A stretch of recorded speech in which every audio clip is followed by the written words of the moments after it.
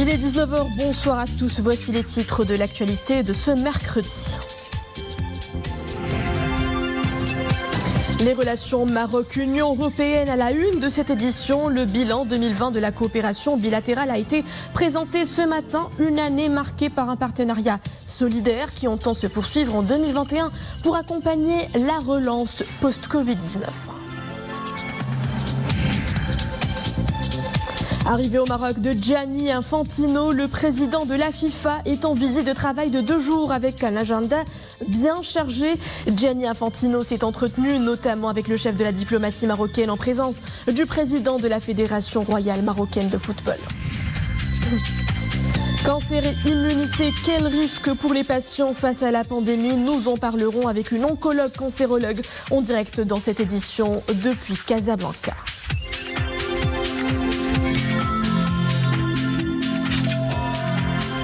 Maroc, Union européenne, notre première escale dans cette édition avec ce nouvel appel du Maroc à l'Union des 27 pour qu'elle s'inscrive dans la nouvelle dynamique que connaît le dossier du Sahara marocain.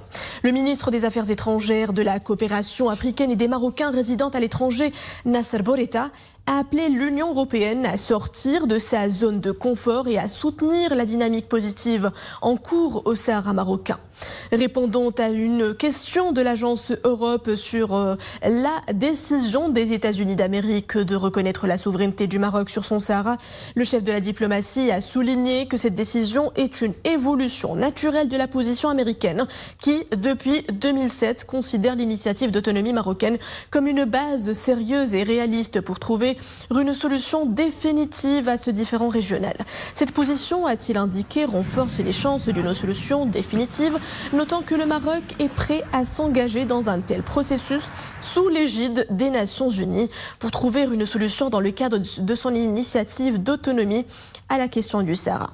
Le ministre a rappelé que déjà 42 pays ont soutenu cette démarche il suffit que l'Europe sorte de sa zone de confort et soutienne ses tendances internationales. Fin de citation. Maroc, Union européenne, toujours le bilan 2020 de la coopération et du partenariat bilatéral a été dressé ce matin. Une année 2020 remarquable par son partenariat solidaire et son renouveau. L'Union européenne et le Maroc s'engagent à aborder 2021 avec de bonnes perspectives et accompagner ensemble la relance post-Covid-19.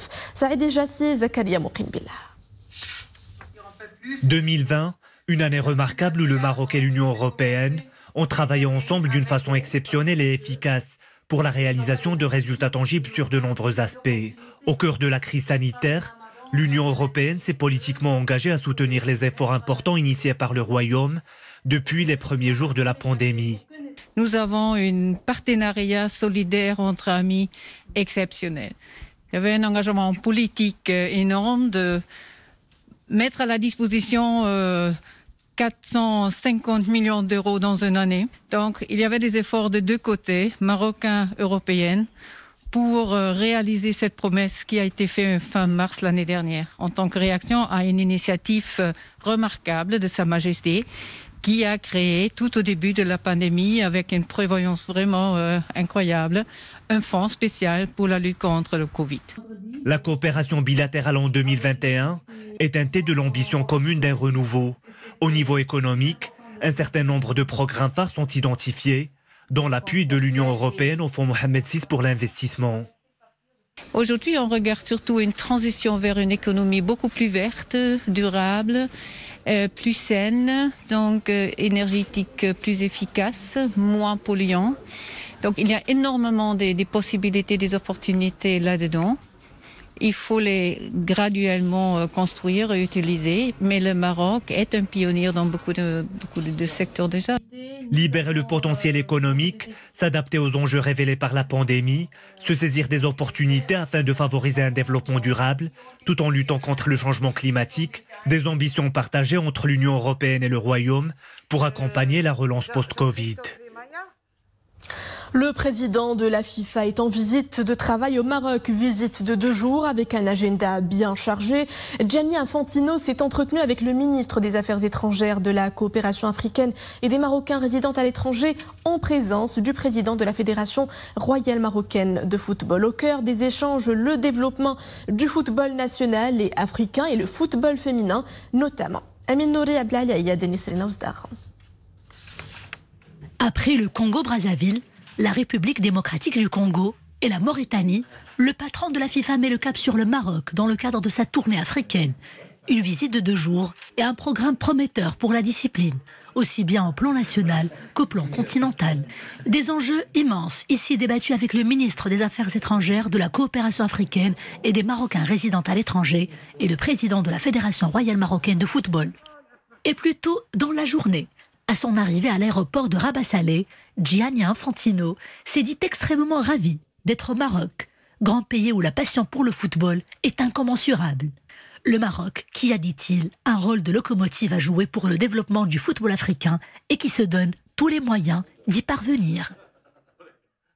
Un rôle très important à jouer. Je, je, suis déjà venu plusieurs fois au Maroc et j'ai pu constater pas seulement la passion pour le football dans ce pays, mais, mais aussi le sérieux du travail de la fédération. Et c'est pour ça qu'on est là pour voir comment on peut faire euh, fructifier encore plus ce travail, le centre euh, qu'il y a euh, à Rabat même, les, les, infrastructures qu'il y a dans tout le pays, comment tout, tout le Maroc, toute l'Afrique, mais aussi le monde peut bénéficier de, de tout ça.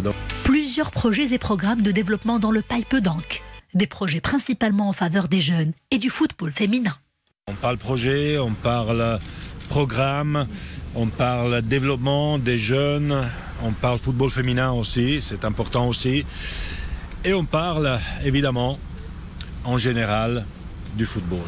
Je suis heureux, c'était une belle journée, je me réjouis, on va certainement euh, pouvoir partir d'ici avec euh, beaucoup d'idées et de programmes sur le futur. La visite du président de la FIFA s'inscrit dans le cadre de la consolidation des fortes relations entre la FIFA et les responsables de la Fédération royale marocaine de football. Opération de vaccination anti-Covid-19, près de 3 millions de personnes ont déjà été euh, vaccinées, ont déjà reçu la première dose du vaccin. Il s'agit exactement de 2 911 635 personnes vaccinées. Et pour la deuxième dose du vaccin, nous en sommes déjà à 37 310 vaccinés, donc totalement immunisés. Près d'une année depuis son apparition chez nous, la pandémie continue de faire de l'ombre à d'autres pathologies. Le cancer notamment, une maladie qui touche chaque année plus de 40 000 personnes au Maroc. Quel risque pour les malades de cancer face à la pandémie? Nous aurons la réponse tout de suite en compagnie du professeur Loubna Tsofer oncologue, cancérologue et radiothérapeute que nous retrouvons en duplex depuis Casablanca. Professeur, bonsoir. Bonsoir. Le cancer et l'immunité, y a-t-il un impact des maladies cancéreuses sur le système de défense immunitaire de l'organisme? Oui, bien sûr. Ben, je vais vous expliquer un tout petit peu. Notre système immunitaire, euh, un petit mot sur le système immunitaire, c'est notre mécanisme de défense naturelle contre tout corps étranger. C'est-à-dire le système immunitaire, il agit comme des soldats et donc il rentre en action et essaie d'attaquer et d'éliminer tout corps étranger, que ce soit viral ou bactérial. Donc, euh, le système immunitaire, il est euh, composé de plusieurs euh, cellules, notamment les leucocytes, les globules blancs, qui circulent dans le sang et la lymphe. Et chaque membre de ces cellules a un rôle très précis dans la défense de notre, dans notre organisme. Dans le cas d'un cancer, eh ben, ce système immunitaire rentre, se déclenche. Et donc, il essaie d'éliminer ces cellules cancéreuses par l'intermédiaire de lymphocytes T, qu'on appelle les lymphocytes T. Ces lymphocytes se fixent sur la cellule cancéreuse et la détruisent. Dans la, plupart du temps, ce processus, il, est, il réussit. Donc, on, on élimine toutes les cellules cancéreuses. Parfois, ces cellules cancéreuses qui sont très intelligentes, ils forment un mécanisme qui va empêcher le système euh, immunitaire de fonctionner et donc il va inhibiter c'est-à-dire il va empêcher ces, cellules, ces lymphocytes de sur la cellule cancéreuse et d'où le cancer et euh, l'apparition de cancer chez l'individu. Professeur Skli, durant ces 10, 11 derniers mois d'épidémie du Covid-19, quelles ont été les données scientifiques et cliniques accumulées au sujet des patients de cancer divers? Ben, euh, c'est vrai que devant cette euh, horrible pandémie et euh, la contagion très sévère de cette euh, maladie qui fait un ravage dans le monde entier, l'OMS a déclaré qu'il y a un pays sur trois où les services se sont interrompus, notamment les services de prévention, de dépistage contre le cancer et de traitement. Donc, il y a eu aussi à cause de ça une restriction des, voyages, de voyages et par conséquent une interruption des, des, des, médicaments anticancéreux qui doivent arriver ou empêcher le patient d'aller euh, se soigner euh, dans des centres de cancéreux. La maladie, il y a un, une, une, baisse très significative des, dans les nouveaux, des nouveaux diagnostics de cancer, même dans les pays qui sont très très riches. dans le Royaume-Uni, euh, l'OMS a déclaré qu'il y a eu une augmentation des décès par 15% dans les cancers colorectaux et 9% à peu près dans les cancers du sein. Donc cette maladie qui cause, la maladie qui est causée par le coronavirus euh, euh, est potentiellement responsable d'un syndrome respiratoire très sévère et d'une défaillance multiviscérale qui peut entraîner le décès chez ces sujets qui sont immunodéprimés. Qu'en est-il, professeur, euh, pour, qu'en est-il pour la vaccination des personnes atteintes de cancer? On sait que l'opération nationale de vaccination couvre désormais les malades cancéreux. Est-ce qu'il y a des précautions à prendre éventuellement pour euh, ces patients vulnérables? Ben, Pour les deux vaccins euh, qui sont utilisés au Maroc, notamment le Sinopharm et, l'AstraZeneca, c'est des vaccins qui sont inactifs. Donc, c'est-à-dire qu'une fois rentrés dans l'organisme, ils disparaissent et donc ils ne peuvent pas créer une maladie euh, dans, des, des, patients immunodéficitaires. Donc, le vaccin, pour, il est conseillé pour ces malades, pour les, les malades atteints de cancer qui sont en train euh, de subir un traitement de chimiothérapie ou radiothérapie on préfère donner le vaccin entre les cures de chimiothérapie. Le, seul inconvénient, c'est pour les hémopathies euh, qui sont euh, malignes, on sait que la chimiothérapie qu'on administre, entraîne une diminution des lymphocytes euh, des lymphocytes dans la circulation sanguine. Donc, ce sont ces lymphocytes eux-mêmes qui sont, euh, qui sont activés quand on donne le vaccin et qui produisent des anticorps pour détruire les cellules infectées par le virus. Donc, dans ces gens-là, il y a une diminution des lymphocytes et donc le vaccin peut être un petit peu n'est pas efficace, mais on ne le sait pas parce qu'il n'y a pas eu des études sur euh, des patients atteints de cancer et le vaccin. D'ailleurs, il y a eu des, essais qui vont en train de se déclencher et on attend les résultats. Mais devant le doute, il faut mettre en balance les avantages et les inconvénients. Tant que les avantages dépassent les inconvénients, il faut se faire vacciner. Et euh, nous souhaitons en tout cas une nouvelle santé à tous euh, les malades. Professeur Loubnat Sofer oncologue, cancérologue et radiothérapeute, merci pour vos précisions. Je rappelle que vous étiez en direct avec nous depuis Casablanca. La stratégie vaccinale adoptée par le Maroc érige notre pays en tant que modèle en la matière au plan africain et même mondial. Sachez que le prestigieux journal allemand Die Welt exprime toute son admiration devant cette campagne nationale massive de vaccination anti-Covid et décrit le Maroc comme, je cite, un champion d'Afrique du Nord en termes de vaccination ayant dépassé l'Allemagne dans ce sens. Le journal allemand met particulièrement l'accent sur l'organisation logistique irréprochable et nous citons les mots de l'article en question. Un SMS suffit et quelques secondes plus tard, les Marocains recevront le rendez-vous de vaccination. Le Royaume a dépassé l'Allemagne en matière de vaccination et pendant que l'Europe, lit-on encore sur les colonnes du quotidien berlinois Die Welt, demeure bloquée, le Maroc réussit avec brio sa campagne. Somme toute, le journal estime que le Royaume est sur la bonne voie et qu'il a fait pâlir les grandes nations européennes. Et là, le journal avance des chiffres, on ne peut plus clair. En Allemagne, la moyenne sur 7 jours est actuellement de 126 806 personnes y compris la première et la deuxième dose, alors que le Maroc a vacciné en moyenne 173 920 personnes par jour la semaine dernière.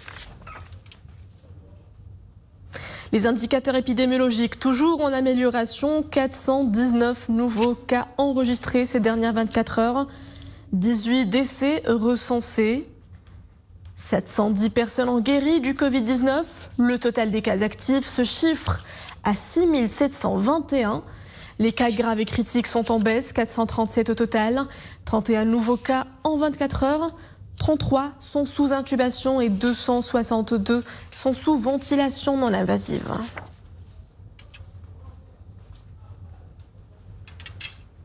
Nous enchaînons avec cette belle consécration du Maroc en tête du classement Afrique des Country Brand Awards pour la catégorie générale, Le prix couvre plusieurs axes dans l'attraction des investissements étrangers, la promotion touristique et la gestion de la pandémie du coronavirus. Le Royaume s'est également classé premier ex aequo avec euh, l'Afrique du Sud dans la catégorie Doing Business devant le Kenya et le Sénégal de l'instabilité météorologique au menu de cette semaine. Prévoyez à partir de demain jeudi 18h et jusqu'à vendredi 20h, de fortes averses orageuses sont concernées les provinces d'El Haouz, Azelal, Chichawa, Qalat Marrakech, Ouarzazate, Rhamna, Taroudan et Youssoufia.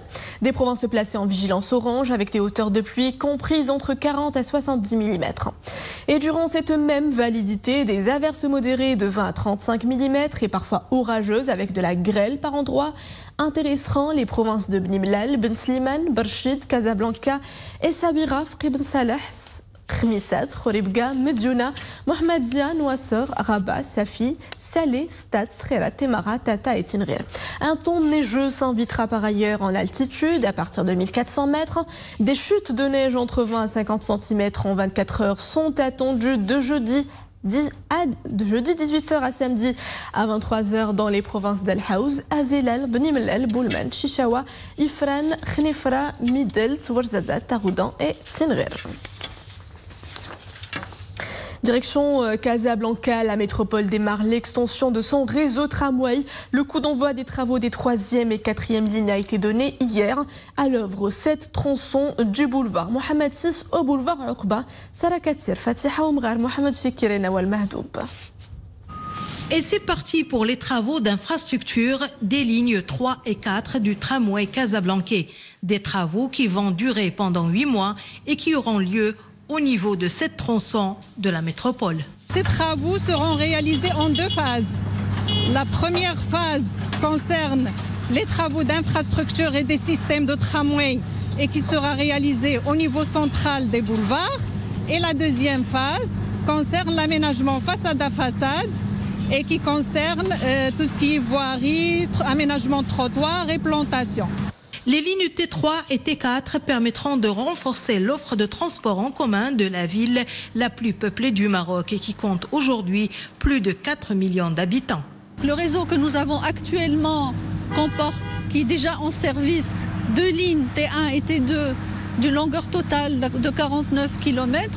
Et nous allons compléter ce réseau avec deux nouvelles lignes, la T3 et la T4, pour une longueur totale de 26 km, ce qui portera le réseau global du tramway de Casablanca à 75 km. Il sera question de 20 stations desservies pour la ligne T3 sur une longueur de 14 km de plateforme double voie, alors que la T4 sera de 12 km et demi de longueur et desservira 19 stations. Et pour des déplacements urbains fluides, mais surtout propres, le Royaume suit la voie de la mobilité verte, une mobilité plus respectueuse de l'environnement. À Marrakech, la Fondation Jardin Majorel a équipé son personnel en motocyclettes électriques non polluantes et économiques. Ces deux roues tentent de se frayer un chemin parmi les centaines de milliers de motos circulant quotidiennement sur la voie publique de la cité ocre. Le reportage est d'Amina Youssouf Zeni sur un récit de Mounia. Depuis toujours, Adil se rend à son lieu de travail à moto. Ce moyen de transport lui permet de se faufiler rapidement dans la circulation. Dernièrement, ce salarié de la Fondation Jardin Majorel roule à l'électrique grâce à la subvention obtenue de son employeur. La fondation a financé à hauteur des deux tiers du prix de l'achat de la moto et moi j'ai contribué avec un tiers. C'est important aussi de, de, comprendre que le monde évolue et qu'il faut le protéger. Et donc un de nos euh, volets, un des aspects sur lesquels nous, nous sommes là aussi, c'est de justement sensibiliser, euh, comme je vous ai dit, nos équipes et ensuite à notre environnement autour de nous.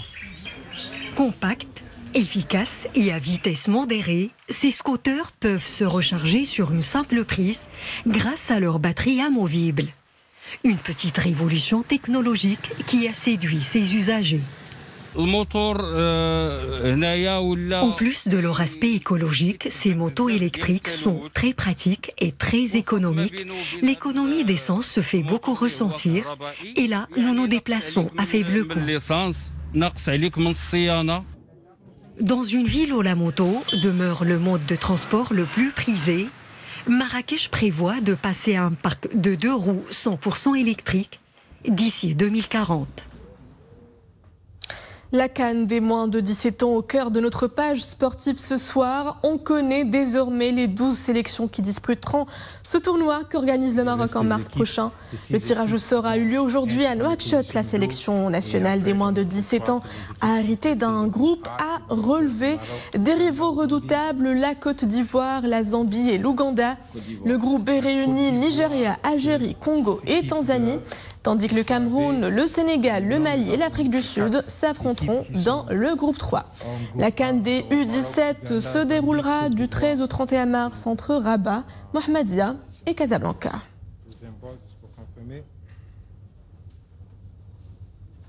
Et c'est avec l'actualité sportive que nous clôturons cette édition. Merci à vous de l'avoir suivi. L'info revient à 21h avec le journal Raïsia. Très belle soirée à tous. Cher Oula.